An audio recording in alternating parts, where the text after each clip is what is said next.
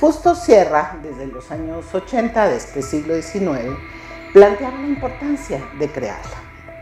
Ya como ministro de Instrucción Pública y Bellas Artes y siempre del brazo de don Ezequiel Chávez, logra este, este anhelo en la creación de la universidad con su ley de fundación, que es de mayo de 1910.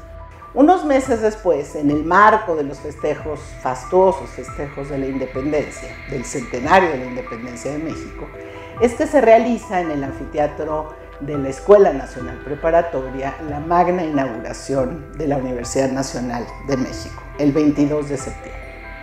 Esta universidad se establece, de acuerdo con lo que señala Justo Sierra, como un organismo moderno y laico que coronaría la magna obra de la educación nacional para responder a las demandas de su vasto y variado territorio y de su población en toda su complejidad. El Archivo Histórico de la UNAM cuenta con varios fondos y colecciones que incluyen documentos que dan cuenta de la fundación de la universidad. Entre ellos vale la pena destacar el primero, Ezequiel. Chávez. Es un fondo que incluye un buen número de documentos y fotografías en las que se da cuenta y se documentan los proyectos de creación de la universidad en sus distintas fases, desde que se somete a la Cámara de Diputados, al Consejo Superior de Educación, hasta su aprobación final.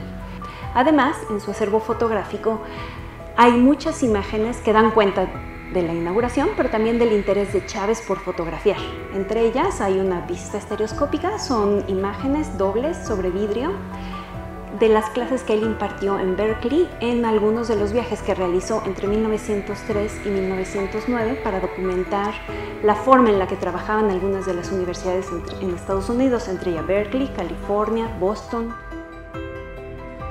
El proceso eh, de, formación eh, no queda tan bien documentado en el fondo de Chávez, este puede complementarse un poco en el fondo universidad, donde podemos encontrar eh, cuestiones más de carácter administrativo como el menú que dieron después de la inauguración, cómo se construyó el anfiteatro, a cargo de quién estuvo.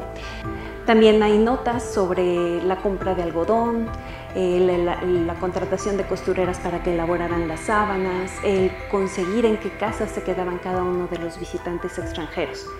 Eh, ambos fondos dan muy bien cuenta de los procesos, los intereses que permearon la construcción, la, la construcción la inauguración de la universidad.